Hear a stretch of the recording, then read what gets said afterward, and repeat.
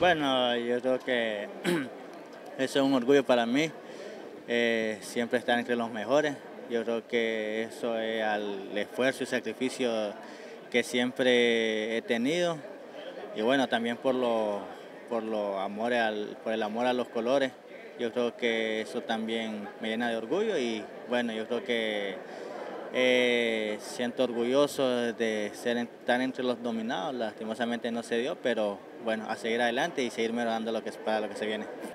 Como te dijera, eso ha sido un, como te dijera, un, un premio que me he venido ganando año con año, el sacrificio que siempre he hecho por, por todo, por la familia, yo creo que es lo principal, que la familia siempre te da el apoyo incondicional y bueno, yo creo que esa es la recompensa que doy lo mejor de mí para estar siempre en lo seleccionado y estar entre los titulares siempre, pero yo creo que ahora es donde tengo que trabajar más, con más sacrificio y amor y siempre mantenerme.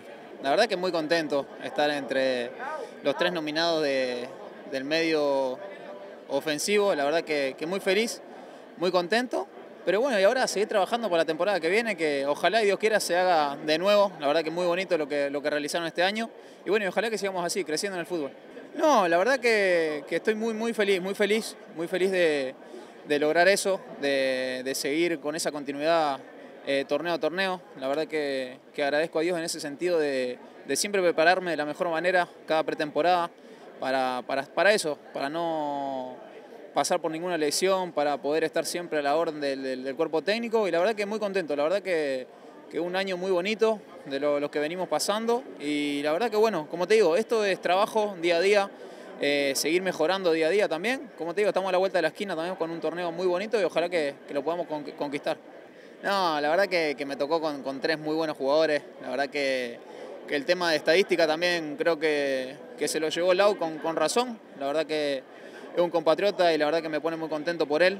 No, no tengo ningún reproche en ese sentido. La verdad que me gustan los buenos jugadores y creo que él como Aje, que fueron el, otro compañero que estaba con nosotros, la verdad que, que bien merecido y, y, no tengo ninguna, ninguna, ninguna cosita. La verdad que muy contento por estar entre los tres siempre. Sí, estar nominado creo que eso es un valor importante porque eh, es del fruto del trabajo que se ha hecho durante todo el año. Eh, ganar tres títulos en un año no, no es fácil.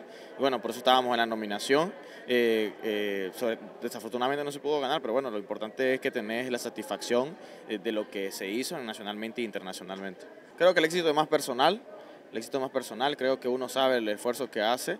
Eh, yo estoy muy, muy contento, muy feliz por el trabajo que se hizo. No solamente yo, yo creo que siempre cuando uno lidera un equipo, eh, va en base de muchísimas cosas, jugadores, equipo, directiva, eh, aficionados. Y yo creo que bueno, el mejor regalo que pudimos regalarle a la afición fueron tres títulos en menos de un año y, y lo histórico internacionalmente.